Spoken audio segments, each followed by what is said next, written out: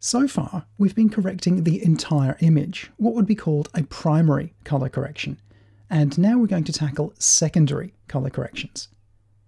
You can see here in the colour board, I've already made a couple of subtle changes, and I can use a shortcut key to turn them on and off, just to see that it's not a great big change.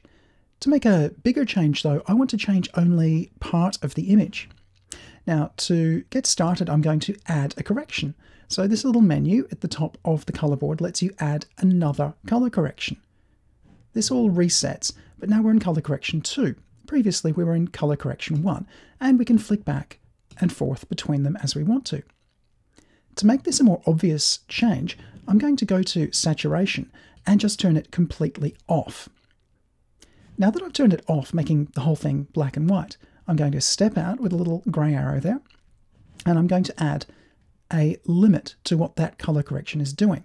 I can limit it with a shape mask or a color mask using this menu here. I'm going to add a color mask. When you add a color mask, you get a little eyedropper. You can click and drag on part of the image and it will select similar areas of color. As I drag further and further, I get more and more colors.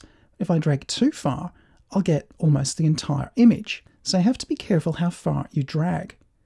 I'm going to go right back, backing it off so I've only got blue. And even though I haven't selected everything, you can see that these selected areas are showing up in monochrome because we turned saturation completely off. But I want to add to that selection to get more of the blues. I can hold down the shift key and then drag again. And I want to make sure I don't get the green if I can avoid it. So I'll just drag a little bit more, but leave the green out and I'll shift click again, shift click again, and now I've got almost all the blue, and I have actually picked up a little, bit of the green as well. Let's just play through and see how this looks.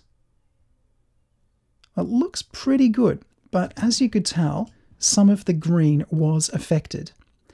So how can I remove areas like that? Well, if you hold down the Option key and drag, you get the eyedropper with minus. So I'm subtracting this selected area from my selection. Try that again, and maybe over here again. And you've got to watch, don't go too far because you don't want to go into an area that's actually an area you want to affect, like the, the beak there I'm affecting, or some of the blue. So I might subtract a little bit more and then shift again to re-enable it. Now you can get into a situation where you can't quite find the middle ground, where you can't get the blue and not the green selected in this example. So if you still can't quite get it right, open out the color correction and have a look at the controls on the color mask. We have a softness control here. Now if I turn that down, then you'll see some of the blue has crept in around there, but all of the green has now been excluded, which is kind of what I wanted. So I'm going to hold Shift and select a little bit more, hold Option and deselect a little bit more, and then maybe put softness just back up a tiny, tiny amount, and that is looking a lot better. The interface over here lets you disable the eyedropper if you don't want to work with it anymore. Just click that button, and now you're back to just a regular arrow cursor. If you want it back, go ahead and click on it.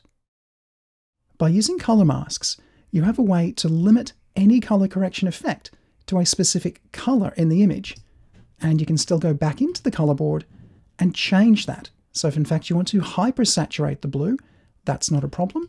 Or if you want to change all the blues to something greener, something a little more red, which will make purple, or simply to make it even more blue, then that's all doable. But the more you try to get away with, the harder it's going to be to get a realistic result. In the next video, we'll see how to use shape masks to isolate color corrections rather than color masks.